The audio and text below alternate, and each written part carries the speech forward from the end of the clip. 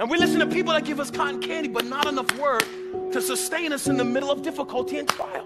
The more word I know, the more I know his voice. The more time I spend in prayer, the more I know his voice. Somebody be saying, Man, I'm trying to figure out what God is saying to me. If we open his word, we'll know what he's saying to us. The more truth you know, the easier it is to discern a lie.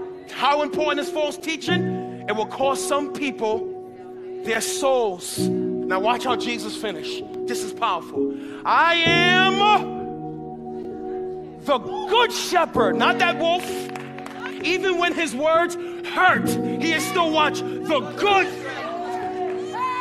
Even when his words rebuke me, he is still the what?